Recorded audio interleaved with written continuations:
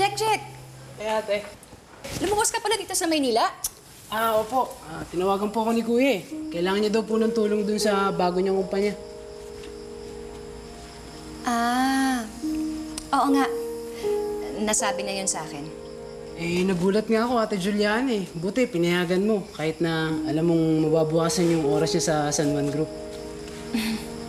Well, let's just say na masyado lang talagang mapilit ang Kuya Jaime mo. And he left me with no choice.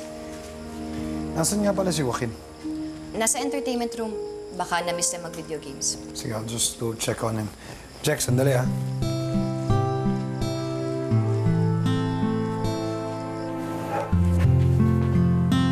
Pwede ba kita maabala? Ay, pa. I just wanna make sure na okay ka lang. Wala ka naman nakaramdaman? Nahilo po ako kanina. Pero hindi po kasi kumain ng breakfast eh. Huwag ka magsiskip ng meals.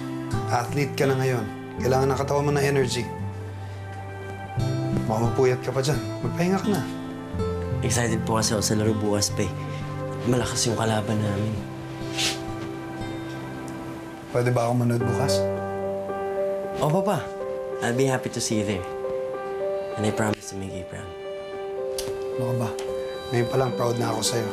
Basta make sure, huwag kang mapipilayan, huwag kang matatapilok. Kung hindi, malalaman ng mama mo na naglalaro ko ng basketball, lagot tayong dalawa. Okay? Mag-ingat po ako. Alam mo, napaka-unfair, no? Imagine, nag-hold back ka pa, pero pasok ka sa Team B. Imagine kung all out yung laro mo.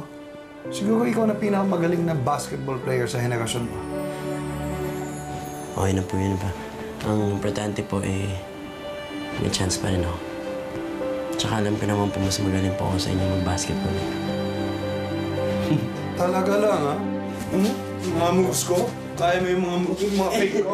Maski ako na, fake ko yung sarili ko minsan, eh.